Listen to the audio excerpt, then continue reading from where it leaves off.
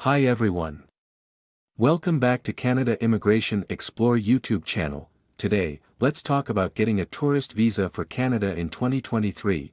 Are you dreaming of visiting Canada's beautiful landscapes, vibrant cities, and diverse culture? A tourist visa is your ticket to this amazing country.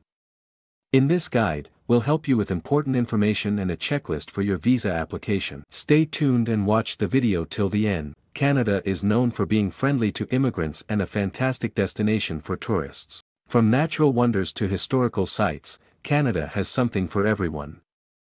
But getting a tourist visa can be tricky, and many applications get rejected because of missing or wrong documents. So, let's look at what you need for a successful tourist visa application.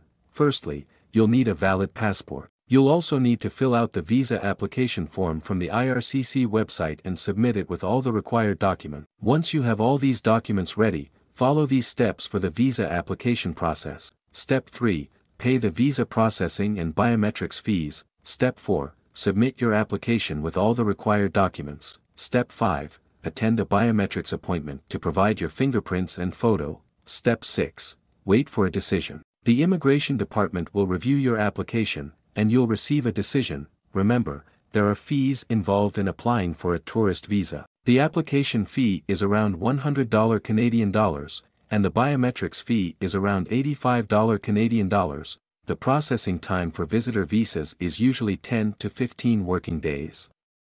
And the visa allows you to stay in Canada for up to 6 months. Canada has so much to offer, multicultural cities, beautiful landscapes, and various activities. However, with a tourist visa, you can't study or work in Canada. Remember, having the right documents and preparation increases your chances of getting a Canada tourist visa for your dream adventure. That's it for today's video. If you found this information helpful, let us know in the comments. Thanks for watching, and take care until the next episode.